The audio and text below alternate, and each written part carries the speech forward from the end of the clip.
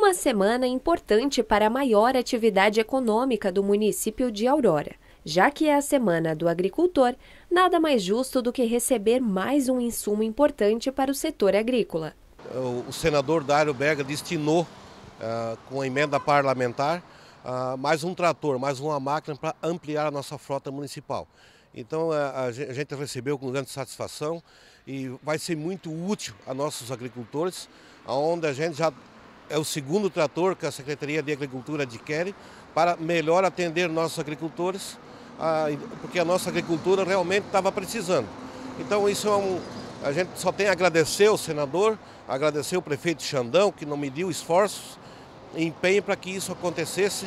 Mais uma máquina nova uh, para o nosso município para atender a nossa população de Aurora. Mais uma forma de auxiliar os agricultores que não têm condições de adquirir novos equipamentos, mas não deixam a economia do município parar.